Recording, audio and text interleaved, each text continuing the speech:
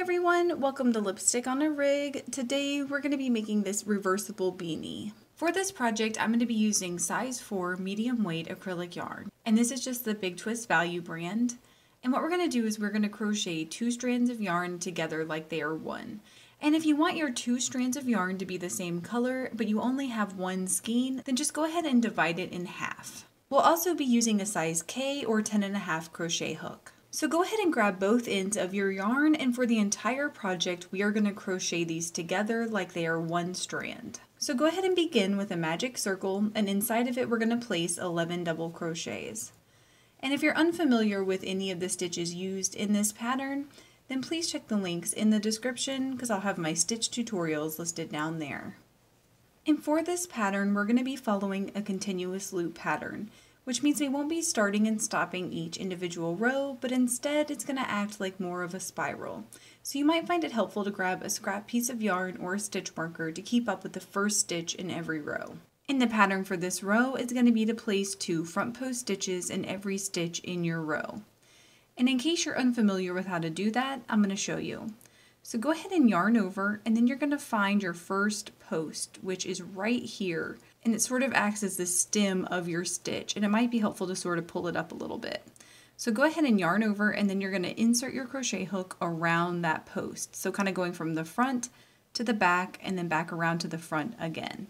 Then you're going to yarn over and drop your post. Then yarn over and drop two loops and then yarn over and drop two more loops. So go ahead and repeat that in that same exact stitch, placing a second front post stitch. And then you're just going to want to follow that pattern, placing two front post stitches in every stitch in your row. And when you get to the end of your row, you should have 22 stitches. And the pattern for the next row is going to be to place one front post stitch in your first stitch and then two front post stitches in your second stitch. And you're just going to repeat that alternating pattern going all the way around your row and when you get done, you should have 33 stitches. And the pattern for the next row is going to be to place one front post stitch in your first two stitches and then to place two front post stitches in that third stitch. And you're just going to want to repeat that going all the way around your row and when you get done you should have 44 stitches. And the pattern for the next row is going to be to place one front post stitch in your first three stitches and then to place two front post stitches in your fourth stitch. And you're just going to want to repeat that going all the way around your row and when you get done you should have 55 stitches.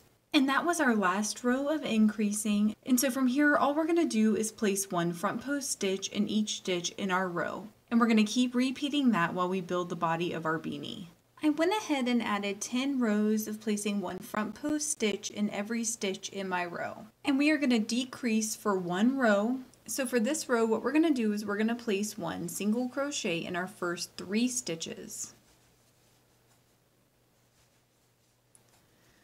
And then from here, we're going to single crochet stitch four and stitch five together. So to do that, insert your crochet hook up underneath stitch four and yarn over and pull through. Then insert your crochet hook up underneath stitch 5 and yarn over and pull through. Then yarn over and pull through all the loops on your crochet hook.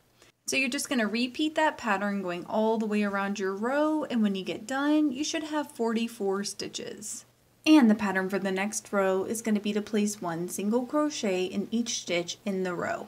And we're just going to repeat that for multiple rows to build the brim of our beanie. I went ahead and placed six rows of placing one single crochet in each stitch in my row. And so to finish off this beanie, I'm just going to place a slip stitch in my next 10 stitches.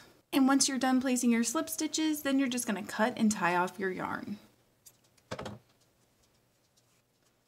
And I like to weave my tail in the direction that I was crocheting for a few stitches and then up the inside of the beanie. And once you're done hiding your tails, you can see that this is what the other side looks like. Please let me know in the comments below if you experienced any issues while you were making this, and I will do my best to help you out. If this video helped you, please give it a thumbs up and consider subscribing to my channel, Lipstick on a Rig.